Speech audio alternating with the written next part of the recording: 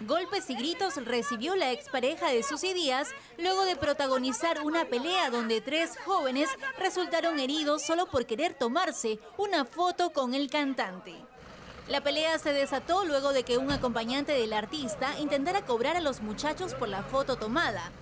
De acuerdo a los agredidos, Andrés Olano, conocido en el mundo del espectáculo como Andy B, sacó un arma de fuego y golpeó fuertemente la cabeza de uno de los jóvenes. Dice que ha estado tomando con sus amigos, mi sobrino se le acerca y él estaba con un paquete en la mano de cocaína. Le dice, a ver, para tomarnos una foto.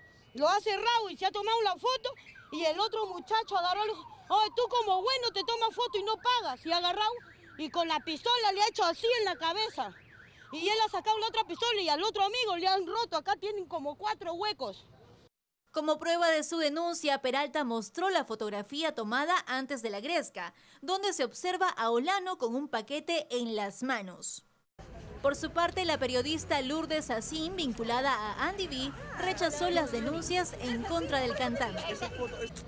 Ah, es un papel, ¿cómo va a ser? Es un papel nomás. Nada, que fue una pelea.